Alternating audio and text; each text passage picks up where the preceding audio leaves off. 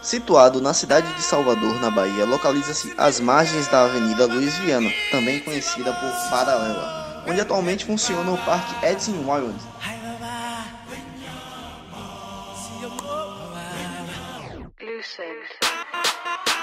Seja bem-vindo ao Complexo de Esporte e Cultura Mário Cravo Júnior.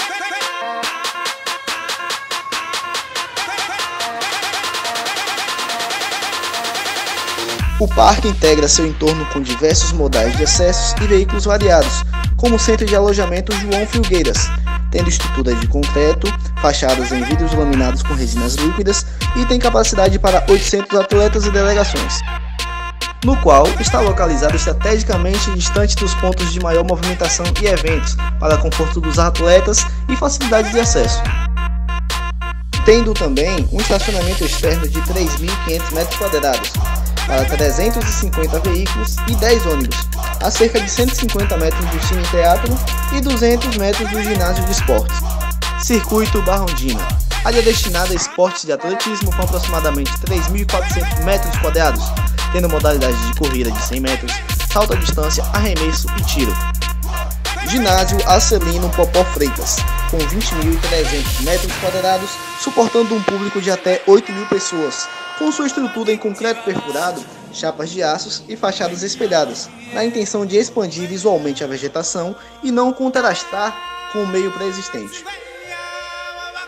Centro Cultural Moura Ramos, com aproximadamente 2.860 metros quadrados, tem capacidade para 800 pessoas, no qual funciona como um cine-teatro.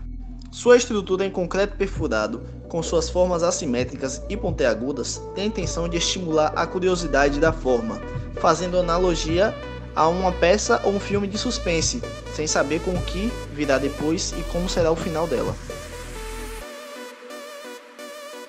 Ponte Jorge Amado, com 9 mil metros quadrados, além da funcionalidade viária, sua estrutura em concreto e cobertura de vegetação transforma-se em um enorme arbusto dentro do parque, além de ser um ótimo mirante panorâmico de todo o complexo. A metros do anfiteatro, 70 do restaurante e a 150 metros da arena principal.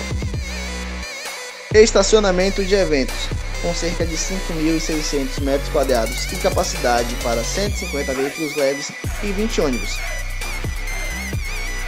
O Tempero Baiano, 770 metros quadrados e capacidades para 350 pessoas. O restaurante e salão de eventos contempla estrategicamente a vista para o lago revitalizado. Com sua estrutura em concreto e fachadas envidraçadas, tem intenção de potencializar seu entorno, além de uma cúpula central para aproveitar a iluminação natural. Próximo ao restaurante foi criado um anfiteatro em concreto com lâminas de vidro e sua fachada, sendo 500 metros com um espaço destinado à exposição artística e atividades culturais ao ar livre. Arena José Roberto Gama de Oliveira, o Bebetão. 69.700 metros quadrados de pura sofisticação, com capacidade para até 25 mil pessoas. Localizado estrategicamente no ponto mais alto do parque, no intuito da vista panorâmica de todo o seu entorno e utilização de transportes verticais, tendo como base em concreto camadas de policarbonato com placas de LED em seu design e estrutura com torções metálicas para sua cobertura.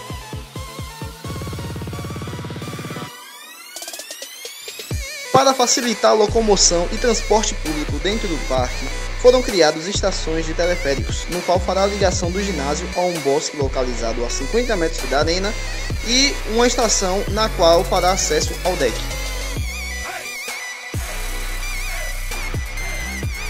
Pontão Isaquias Queiroz 4 mil metros quadrados com estrutura de aço e madeira, tendo seu espaço destinado à circulação e lazer aquático, além do seu deck a poucos metros do lago proporcionando a interação do público com o meio inserido. E eis que depois de uma tarde de quem sou eu, e de acordar a uma hora da madrugada em desespero, eis que às três horas da madrugada eu acordei e me encontrei.